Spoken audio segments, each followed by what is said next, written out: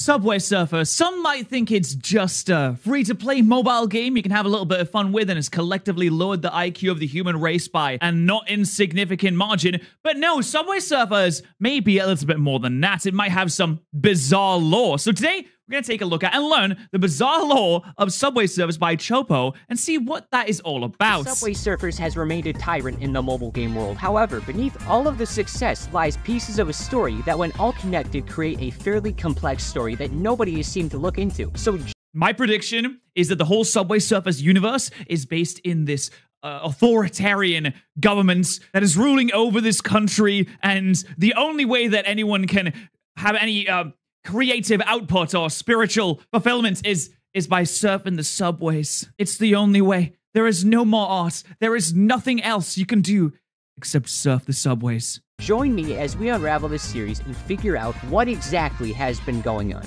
Hi, I'm excited for this. Here in the desert, don't know which one, don't know why, but based on the heat, I don't think I'm gonna survive. But that's not important. If I find water, that's great. But anyway, Subway Surfers is a household name at this point. You probably recognize it for that one mobile game, but trust me, there's so much more to it. You know, Jetpack Joyride was the Subway Surfers of my time since I'm the ripe old age of 27 years old. I didn't really play much Subway Surfers. I did a little bit, like a tiny amount, but I mostly played Jetpack Joyride, and it still has the same kind of idea behind it. And honestly, it's not that much more difficult or you wouldn't be that much more intelligent for playing it, but I feel like they're very similar. Subway Surfers takes place on a modified version of Earth. This is an Earth where technology is slightly more advanced. Civilization has started to colonize the oceans, and train yards stretch hundreds of miles, but only like 40 feet wide. The first Oh my god, this is the alternate reality where the USA actually has some kind of public transport services. The very alternate reality. This would never happen, where the USA actually built a decent amount of trains. Now that would be incredible. Major time point is on May 24th, 2012, when the game originally was released and where the first major event takes place. Three kids start this saga by sneaking into a train yard and tagging the trains all around. Of these three, we got Jake, the rebellious kid who loves eating and committing mild crimes, Tricky, who comes from riches and is hiding this life from her family, and Fresh, who's just like a dude Fresh? who's happy to be here. He's my favorite, but anyway. His hair is crazy good. While doing the illegal illegalness of a graffiti, Jake gets spotted by the train yard guard and begins the first endless run. This is Ted Lutz, better- And this guy, despite his rotund stomach, has quite some amazing cardio. Listen, I mean, I, I try to run sometimes. I went on, on, on the 5K today. I don't think I'm particularly good at running. This guy, this fella, has twice the cardio that I could ever hope to have. Known as the security, he is the most powerful character in the universe. He's considered the antagonist, but truthfully, isn't that bad of a guy. Just a dude with anger management issues hellbent on serving middle schoolers justice. Don't believe me? Across literally billions of attempts of these kids trying to evade the guard across every corner of the world, they have and he doesn't even kill the kids once. Not once managed to escape him. He is the amalgamation of the indomitable human spirit. Whatever he puts his mind to ends up happening. Now, if you're asking why the main crew can travel across the world so frequently, we'll get into that in a bit. Though Ted Lutz is the Sisyphus of the Subway Surfers universe, except instead of pushing a rock up a hill eternally, he is eternally catching children that are surfing the subways. One thing that absolutely needs to be discussed is the hoverboard. Now, the hoverboard actually has an origin story that we would see throughout the entirety of the Subway Surfers animated series. The first season takes There's a Subway Surfers animated series. They make movies and shows of everything nowadays. It feels like everything gets a TV show or a cartoon at some point now. Place at least two days before May 24th, 2012. I lied earlier. This is actually the first entry in our timeline. That, that was a complete fallacy. I already introduced the first three main characters, but we have a fourth pal, Yutani. Now, Yutani, in my opinion, is the most important character of the cast. Long story short, she's basically motherless Jimmy Neutron. Like, actually, it's just Jimmy and Hugh Neutron. But this first season is kind of weird. All 11 episodes take place in an incorrect order. Episode I'm sorry, his eyebrows are crazy. Jake's eyebrows are so strong. I wish I had eyebrows that one strong. is chronologically the third, the second is the last, the third Just, oh my god. There's, look at those eyebrows. I'm sorry, I'm really distracted by this. I am paying attention. It's just those eyebrows are mesmerizing. the first. We're gonna look at this in its correct order, which is laid out like this. Starting in episode 3, Tricky's real name is revealed to be Beatrice. Normally, I'd question a name like Tricky, but this is one of those cases where either name is a lose lose. Tricky has a ballet recital today. I promise this goes somewhere cool, but her mom's kind of preppy and overwhelming. Her dad, not so much. There's very consistent Is he he's in Froot Loops, isn't he? Yeah, he's in Froot Loops. He seems like a cool, suave type of old fella. He seems to be a cool, rich dad. Trend of supportive father figures throughout the show. it's a weird thing. I I don't I hate Jake, and coincidentally, he's the only one without a father. Oh. coincidence or correlation. I don't know. She's about. Yeah, no, it's it, hey, listen, listen. We're not trying to make any points about you know single parent homes or anything like that. Clothes to go skate to her recital so she can change back into the recital clothes and waste everyone's time. Her mom chases her and gives her the family heirloom so she'll look good when she bombs the routine. But what?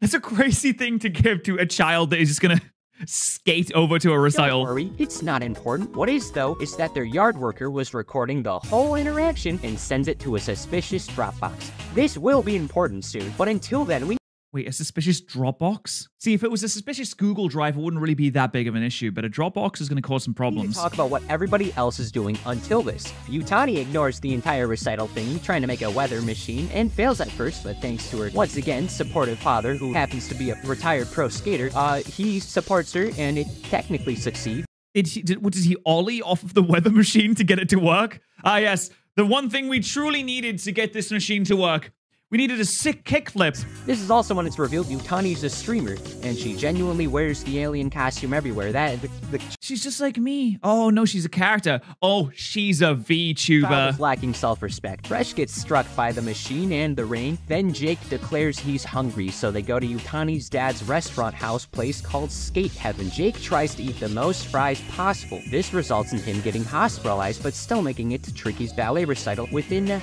Wait, he didn't even swallow the fries. did he immediately have a sodium overdose as soon as they touched his mouth? How is how are you that weak? Hour with a very normal looking audience, and there's nobody suspicious within it.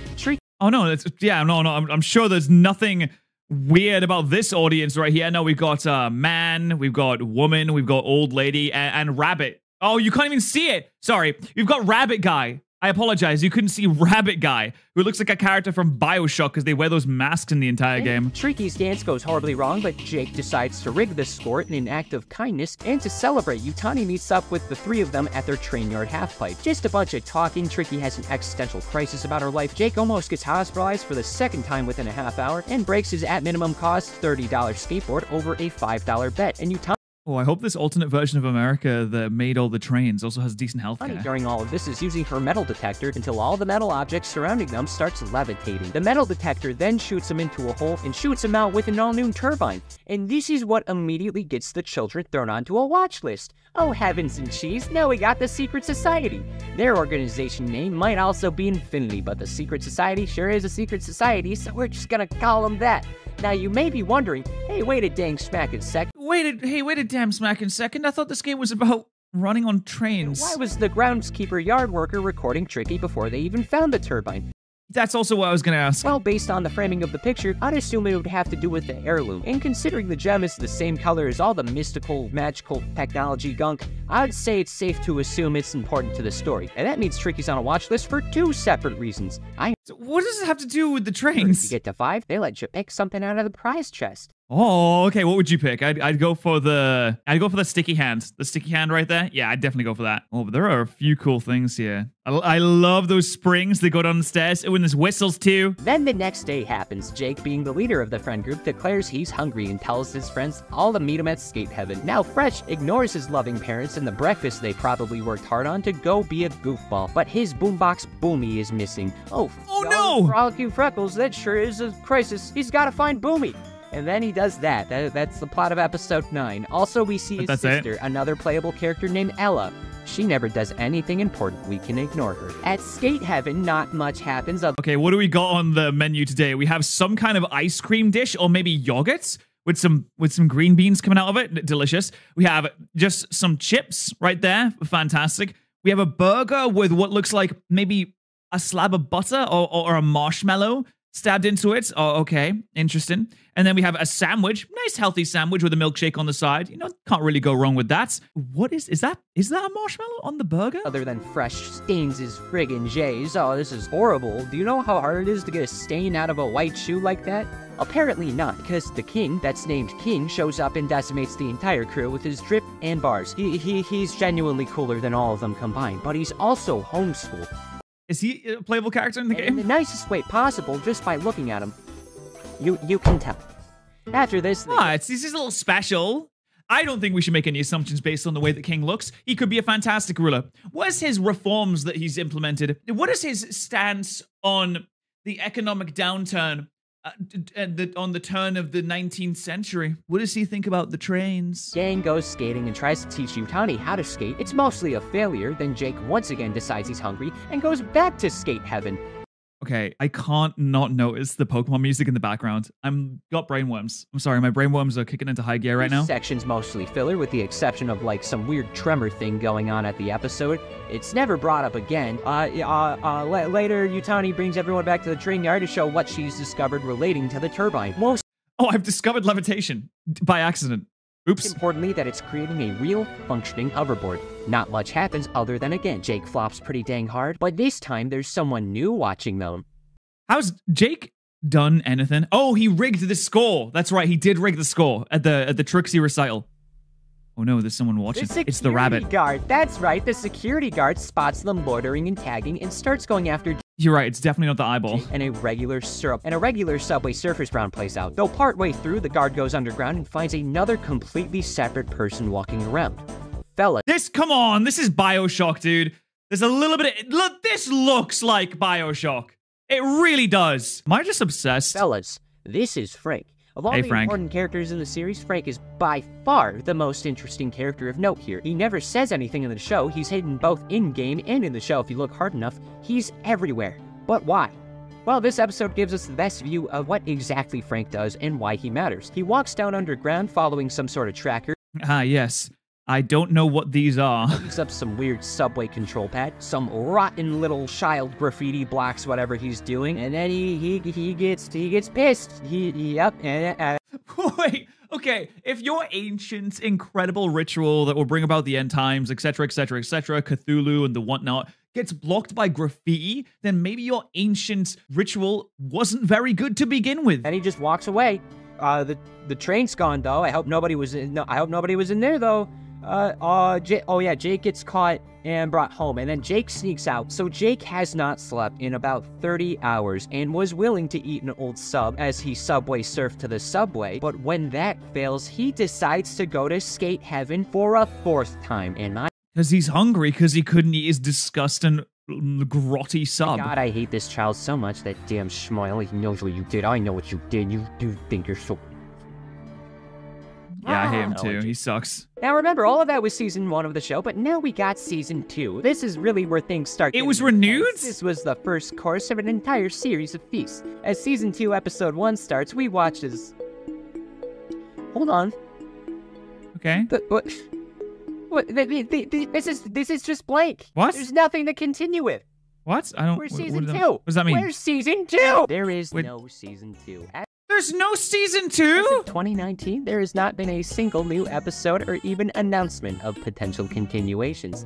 Oh man, and it was getting so good as well. Frank was gonna create an underwater city, and there'll be like, these terrible drugs, and there'll be Big Daddy, and And you know what? I'm a little insulted. I went through like 50 minutes of content and was just waiting to see how far we could stray from the funny, silly mobile game. In fact, the director man said, Oh, we came up with like seven seasons worth of story. We can't tell you what happens in them, but but it's gonna be so cool. Everyone's gonna be like, Oh, you're gonna, you're gonna love it. You're gonna love how, what we did with everyone. You're gonna love it. You're gonna, it's just gonna be so cool. Where's the season? I can't believe the kids didn't love the Subway Surfer show. Where's the story? I don't see him. So now that leaves it to me for the time being. I'll have to speculate based on the hints we've been given. This is okay. like trying to make a sandwich, but the only ingredient that I have is tomato slices. Oh, so this is a game theory, is what we're saying. I don't even like tomatoes by themselves as slices. If this ages poorly and somehow we get like another season or some continuation, consider this a prediction. But I'm guessing the hoverboard we see all the characters use originated from that turbine in skateboard being modified further. I wouldn't be shocked if they got away with manipulating the technology. I would also say the heirloom's vital to the secret society technology and whatever, and then Frank is like some sort of accomplice of the society. The, the motives of all of them are still totally unknown. They just exist. I don't know what they intend to do, but I guarantee you it probably involves controlling the world. There's a connected series of videos called the dossiers or doc- dossiers, it's a French word, I don't know French. And these go over the secret society's files related to each character. Is that Tanuki?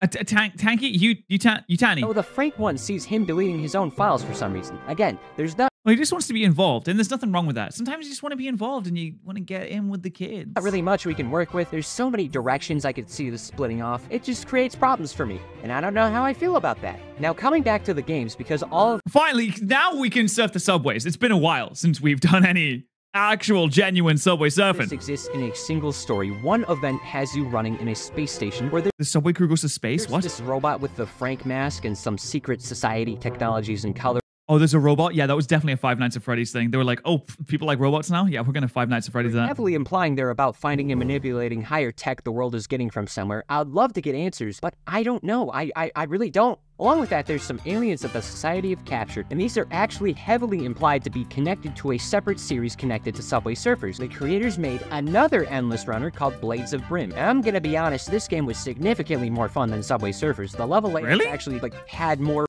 Why do the graphics look a bit worse?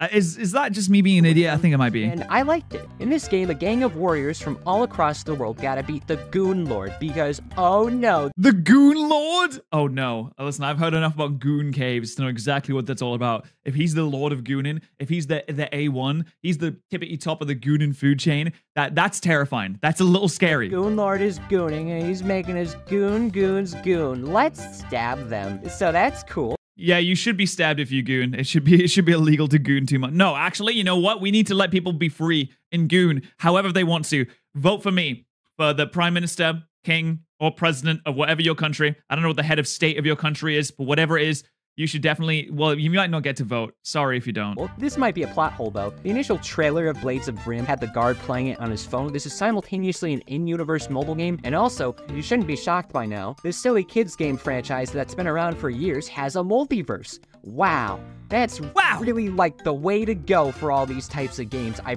So there's got to be a Spider Man version of Subway Surfers, right? I mean, it just makes sense. You could run in and you could web swing. It would just make it just makes promise sense. you, I'm not forcing it. It's just that every single moderately Jetpack Joyride! Oh my god, this brings me back. Flappy Bird, Candy Crush, Jetpack Joyride, Mutant Ninja, Doodle Jump, Angry Birds, Temple Run. Oh, all great. popular franchise has some sort of alternate dimension or multiverse. Oh boy! I think that's all there is related to the Society, but there's actually a few sequel games. So let's take a look at them. December Okay. 23rd, 2019, Subway Damn, it took a while for them to release any kind of sequel. Surfers Airtime is like this 2D exclusive racing game that's exclusive to Oh, Snapchat games for yeah. some reason. If you want to play this It's exclusive to Snapchat. Is Snapchat still so popular that they can just get things like that? The only thing I know about Snapchat is that I have a streak with my brother. That's the only time I ever use it. it, is to keep my streak going with my brother. And the fact that David Dobrik uploads pictures there every day, and that's it. That's all I know about Snapchat. you have to go into a Snapchat DM and select the game, or at least you could, because Snapchat removed this feature in early 2023. I hope at least one person found out Snapchat games don't exist anymore because of this video and because of Subway Surfers. This was how I found out. Wait, Snapchat just does not have games, so can you not play the game anymore? Is it gone forever? 7, 2022, Subway Surfers tab. I forgot to mention that Yutani can board now, and that's character development, I think. It is one everyone looks like a Muppet and they're being mischievous, but looking at the trailers, this game looks pretty fun. I think I'll have to check it out. Just kidding, it's an Apple Arcade exclusive. what is this? I have enough self-respect to say that I'm not paying for a subscription service for mobile games. Apple, you can have as many fun, silly, unique, exclusive mobile games that I totally want to play as much as you want. But this is a test of integrity that I have been and will be That's right. Never pay for video games. Not one time ever. continuing to pass. You are cracked out of your mind if you think I'm going to pay 15 schmuckos a month for this. November $15 a month? Yeah, that's a bit too much. 4th, 2022. Subway Surfers match lets you help Jake vandalize public property. At this point, Jake fully deserves to be behind bars. I'll help snitch where needed, just know I'm not a narc, I'm a Pisces. This is a puzzle type game, that's great. They've made Candy Crush for Subway Surfers. Why didn't they just make Subway Surfers This 2? where I remind you that all these kids are being tracked by an entire organization and nothing's being done about it. Anyway, April 21st, 2023, Subway Surfers Blast. This is another puzzle game adventure, but this time you gotta make their hangouts look nicer, and that's really all that goes on here. One of the trailers starts the kids in some sort of puzzle dimension, and like my freshman year of high school, we're never, ever gonna bring it up again because nothing of value was attained here. And that's every other game. You'd think That's after it? a decade there'd be something else going on, though I guess Yeah, what? I thought Subway Surfers was like so popular. I, I thought it had everyone. All the kids were playing it. Everyone. forgot to turn the oven on all the way, and now the food's probably still gonna be edible, but it'll be a bit undercooked, and like like it'll be a little too late now. Luckily, though, we still have the silver lining that is the titan of the main game, Subway Surfers. This game. Oh yeah, all right. Time to get into the main game. The main meat of the bones of the bones of the kitchen. The past decade has the marrow. absolutely continued to update on a monthly basis. New characters, cosmetics, and all of that stuff has been added over the years. Wow, they're still going. I wonder if there's any like hardcore Subway Surfer enjoyers. Are there Subway Surfer tubers? Like there, there's poker tubers. Hey, hey, how's it going? I'm one of them. Uh, are there Subway Surfer tubers in the same way? Oh my god, Subway Surfers World Tour trailer has 4.5 million views and it came out one month ago. Subway Surfers is wait, this is actually really big. Oh my god, there are Subway Surfer tubers. This is still huge. Still love this. Four, wait, wait. 4K. Wait, 4K likes, 445 comments, and 4.5 million views. Oh, is this an ad? This might be an ad. Oh, yeah, they upload these videos to be ads. And then they show on pre rolls, and that's where the views come from. That makes a lot more sense now that I've thought about it. I feel like the days of Subway Surfer, oh, it might be behind them actually. Wow, they just uploaded the animated show just on YouTube five years ago. And there's never been an update since. This was the last one. And they turned off the comments too? Unfortunately, despite there being hundreds of characters that have been added to the roster, I would argue we've already covered all of the ones that have or could have any plot relevance. The animated series is the most relevant anyone is, and only seven of them show up in it. Like there's known Cthulhu monsters and an I knew that Cthulhu would have something to do with this. zombie Okay, that's a Plants vs. Zombies reference, isn't it? nothing. None of this matters. There's a Burger King skin. I own the Burger King. Frank goes to Burger King. It might be important. I don't know. They don't address any of this. Is Burger King gonna be important later on? Is Burger King law accurate for this universe? I mean, let's be honest, Burger King is not very good. I can't think of many reasons why people would go to Burger King unless they're spending ridiculous amounts of money to advertise in these video games. I will say, though, however, they do a chicken royale. It's a little chicken burger, and it's pretty good. I don't know. I would love to treat this like a situation where this is a goofy baby game and shrug it off, but there was, and still is an attempt to continue the story through the tiniest hints that nobody seems to take note of, even though millions of people have for sure seen this gameplay under their little attention I am stimulated right now. And reducing TikToks. I hope the characters get royalties for all this footage because now we Wait, why is it paper now? Bring back the bring back Family Guy. got one teensy tiny little itty bitty baby question still up in the air, and maybe that extra cash from those royalties could help them out, but I can't help but ask. Yeah? What is it? How do they manage to travel so much? After years and years of doing nothing but vandalizing train yards, these little freaks have managed to get to every corner of the planet and do what they always do, vandalize in other places. They're expanding their little atrocities. Because they got rich parents. Trixie has rich parents, so Trixie's just like, Mom, can I take my friends to Guatemala? And they're like, oh, okay. baby penguins in the Arctic, drawing penises in Australia, going to Europe, all the bad things a person can do has been Going to Europe. All the bad things a person could do. All right, you you you win this time, Chopo. You win this time. done by them. And they just smile. They just grin ear to ear, knowing what they're doing. I see the wrath in those empty eyes. You can't fool me. Two important things happen throughout all of this. Somehow, thanks to the secret society and their efforts, Yutani has been able to understand the weird turbine. So now all the kids have access to absurd gravity and magnetic technology that we see in the power-ups. Why has the government not arrested This them? This is how they travel across the planet. They wake up, fly to Shanghai or something, indulge in crime time, and then head back home and do it all again the next day. That's all. These kids are able to do all this stuff just because they want to. No financial gain, no sightseeing, just train yard hijinks at every train yard.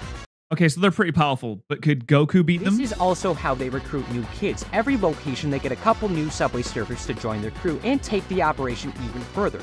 Wow, they all speak English None too? of This technology is shared with the world, despite the amount of money these kids could earn and how much the world could potentially benefit. You Well, they're, they're 12 years old. They don't know how, but they don't know about money. They don't know how the value of a Dilla. just got to accept these funny little guys are using this gear to run around stupid places across the world and even beyond it.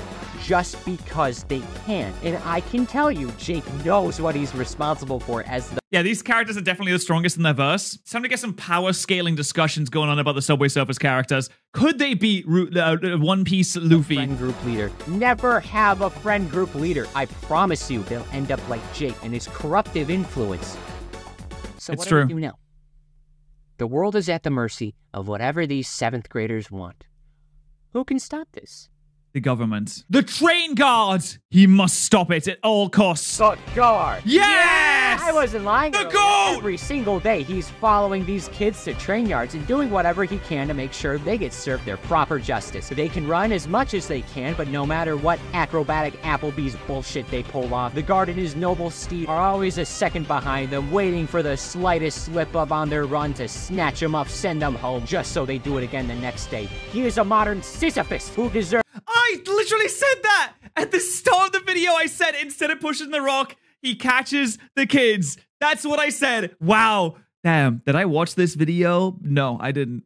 I, I didn't watch this video, but it feels like I did. The world and so much determination literally radiates from every crevice of him in those khakis Okay, but could the train guard beat Sans? Is the question. justice. And the guard solos your face. Dude, I, I was talking about could he beat Goku as well. Oh, this is. This is so funny. It's am I am I am I too? Can I see the future? favorite verse and the Burger King. He might not even be getting paid for this. He just hates vandalism that much, and good for him. Honestly, what did Mumbai do to have Jake exist? And I, I just know this kid's fuming every day, every waking moment, running from him, never being able to escape those stupid eyebrows thickened by a single nanometer The st- the eyebrows too. I talked about the eyebrows. Peter, every time he's caught. They're so thick, you could fit an entire Hampton hotel in there. Okay. That's what I've been saying. I'm so glad that we seem to be on the same wavelength with this, Chopo. I'm so glad that we we have the same ideas. We are the same. What can I say? That's everything we know for certain so far. This has yet to conclude a story and has been mostly stagnant for years. So much could branch from here, but nothing's done about it. We're just in an endless limbo with no escape. Just like these train yards, who knows when it will end, if ever. What's the deal with the heirloom? Why is Frank everywhere, including Burger King? What does the guard eat to have this level of cardio? We don't know. I've been trying to figure out. Like I'm, I'm on I'm on my diet of have I have some tea in the morning, so I like a cup of tea, and then I have, I have some tea in the afternoon too, Uh, and I have like a salad sometimes. Like how do I get this cardio? And honestly, that really does suck. All we know is that Frank put Jake on some sort of list. Frank undoubtedly is set to be important. This technology is wanted, but again, nothing was ever done about it. So ultimately, we're back to square one. What the average person sees Subway Surfers as. That being an endless runner where the guard always catches the surf is exactly what's been playing out this entire time. You can remove any fraction of the built up story, and currently, nothing would change. It was set up and never followed through. That's a really nice room. I don't like that. But who knows, maybe someday we'll be able to come back to this story in the future. Maybe some point down the line we'll get to see this story move on further. I can't really say anything, nor can I confirm what happened behind the scenes to I really hope that this goes somewhere because it seems very interesting. the story to this point. That being getting a drip of story every blue moon in this drought. So if the Subway Surfers peeps see this video somehow, hi guys. I'm sure we would all love to see you guys continue the story, so this specific discussion can age badly, and if you do make another continuation, please don't make these compilations. There's like 50 minutes of content, you made 20 official compilations that each made millions of views. That's kind of smart, but also a little embarrassing. I'm calling you out for this. No, you make some good ad revenue from And that. that'll do, guys. I hope you enjoyed. If you look in the distance, you might just see a mirage that coincidentally What? is a statistic. I'm obligated to tell you to subscribe and give Well, okay, I guess I will. Oh, I already am. Okay, problem. I already am subscribed. But secondary problem, you're not subscribed yet. The person behind the camera, you watching this video, you're not subscribed to Chopo, so you can see these wonderful, wonderful lore videos, which is an issue because most people aren't subscribed, and you should be subscribed to Chopo. The link is always in the description. It always is down there. You can watch lore videos on many, many different things, as well as know that you are doing your part to help Chopo hit 200,000 subscribers. And I'm going to hit that like button right there. And if you want to see more of my dumb face, then you can always subscribe here as well.